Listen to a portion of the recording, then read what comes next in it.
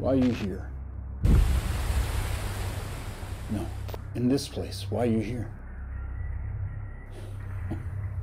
Here to be punished. That's good, I like it. You know what? I think you're right.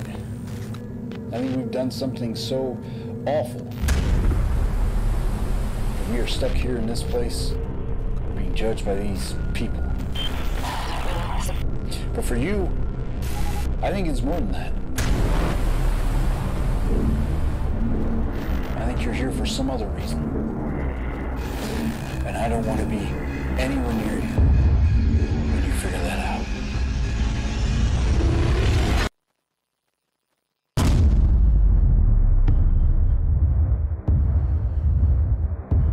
Bump.